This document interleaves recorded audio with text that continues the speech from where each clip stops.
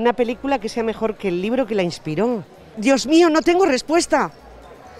Estoy en blanca portilla, completamente. Es que yo lo de los libros para mí es una cosa muy sagrada. Nunca los, los comparo. Las comparaciones son odiosas. ¿Has pirateado alguna vez una película?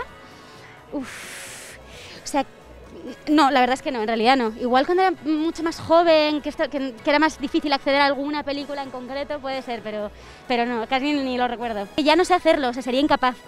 El look de una actriz o actor de la alfombra roja que nunca olvidarás. Recuerdo mucho a Bárbara Leni una vez, vino con uno que me pareció un sueño.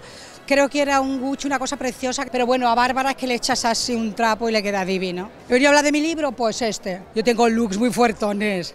Yo he sido la gran equivocada, lo sigo siendo, pero ahora me ayudan. Pero looks míos cagada, muchos. Una película que te recuerde a tu infancia. Eh, la cara de las galaxias. Joder, que era un niño yo.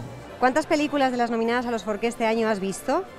Eh, pues yo creo que bastantes, no sé si todas, eh, pero creo que bastantes de ellas. La película que marcó, marcó, tu adolescencia, me da vergüenza decirlo. Adolescencia muy pequeña, ¿eh? Muy pequeña. Eh, pues mira, me marcó mucho Siete novias para siete hermanos, que es una de las películas más mm, machistas y más reaccionarias, pero a mí yo solo esperaba que viniera alguien a bailar conmigo. Una película que a todo el mundo le gusta, pero a ti no te convence. 2001 Odisea en el espacio, que yo a los 40 minutos decía, por favor, ¿puede pasar algo? O Blade Runner, que yo me acuerdo que con Vicente Aranda nos la ponía, nos ponía Blade Runner como de que era su máxima referencia y yo nunca entré, pero es que he entrado poco en la ciencia ficción en mi vida. ¿Cuál es tu actor, actriz flechazo? Me viene Bradley Cooper. ¿Me ha venido así? Ver una película en el cine o banta y peli en tu sofá. Ver una película en el, en el cine siempre y si es mala te la dejo ver en el sofá con la manta. O si es buena, vete al cine. ¿Cuál fue la primera película que viste en el cine? ¡Wow! Una de las primeras películas que recuerdo haber visto en el cine fue Piratas del Caribe. Recuerdo que me senté en la butaca, empezó la película y le dije a mi madre, eh, mamá, no sé si estoy preparada para ver esta película, pero la habían anunciado tanto en la tele que era como, quiero ir, quiero ir, quiero ir. Y nada, al final pues salí, salí del cine emocionadísima y me hice una caja del tesoro para mí, con las joyas de mi madre. Luego fui pirata un mes. Un actor actriz que hayas llevado en la carpeta del colegio o hayas tenido en un póster en tu habitación. Eh, creo que Leif Garrett pero en realidad era mi hermana, pero yo lo heredé. Pero bueno, son de esas cosas que uno en los años 80 heredaba en las carpetas y todo eso. Pero Leif Garrett, que además mi hermana me escribió hace muy poquito, mandó un WhatsApp con la pinta que tiene ahora el hombre. Que es un. Bueno, tiene algunos, algunos que otros problemillas. Una película que no hayas entendido. Por ejemplo, eh, la última Annette, de golpe, me esperaba otra cosa y, me quedé un poco loca. No, no acabé de entender.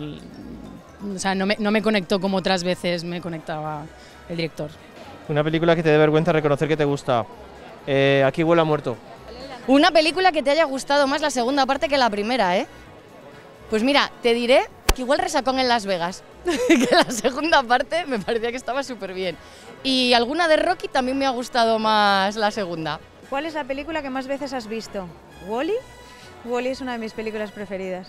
ahora como tengo una hija pequeña, pues la he visto con ella un montón de veces también. Una actriz, actor que siempre te gusta, cómo va vestido en las alfombras rojas. Soy muy fan de Emma Stone.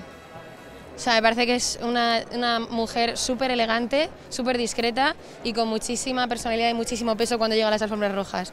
Un personaje que te gustaría haber interpretado a ti. Eh, me hubiera gustado muchísimo interpretar a Satin, que es el personaje protagonista de Moulin Rouge que hizo Nicole Kidman. Un actor, actriz con el que sueñas trabajar.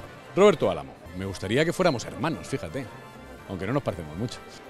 Una película que jamás volverías a ver. La verdad que como hay tanto cine bueno que ver, todavía no he perdido el tiempo viendo algo que no volvería a ver. No recuerdo ninguna película que, viera que no me gustara. Una versión original que no te cansas de escuchar. Ah, pues All That Jazz, por ejemplo. Una película para ver en una primera cita.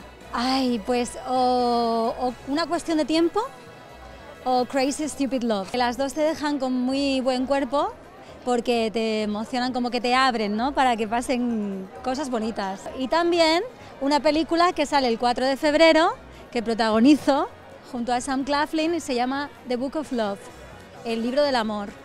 Es muy divertida y es una comedia romántica. ¿Cine con palomitas sí o no? Sí, y dulces. Palomitas, pero de las de caramelo o miel. De las que son todavía un poquito más gochas que las otras.